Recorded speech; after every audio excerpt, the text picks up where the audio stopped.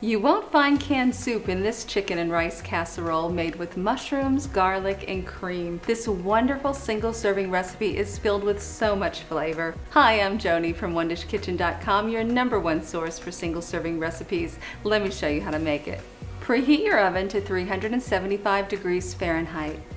Heat a half of a tablespoon of olive oil in a medium-sized skillet or saute pan on medium-high heat. Cut a 4 ounce boneless, skinless chicken thigh or breast into 1 inch pieces. Season the chicken pieces with an eighth of a teaspoon of salt and an eighth of a teaspoon of pepper.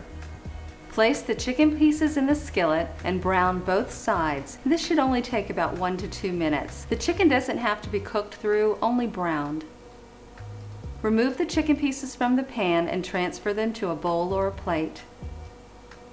Add a half of a tablespoon of olive oil to the skillet and lower the heat to medium. Add a half of a cup of chopped onions and cook until translucent, stirring frequently for about two minutes. Add one clove of garlic that we've minced and cook for 30 seconds more. Raise the heat to medium high and add in a quarter of a cup of sliced mushrooms. Cook the mushrooms, stirring occasionally for two minutes. Pour a third of a cup of chicken broth into the skillet and stir.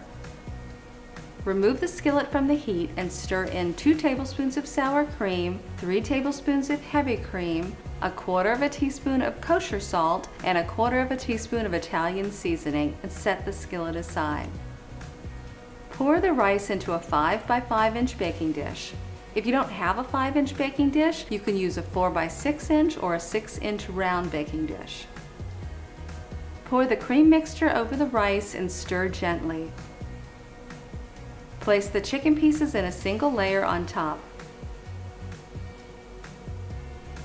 Cover the casserole tightly with aluminum foil and bake for 40 minutes.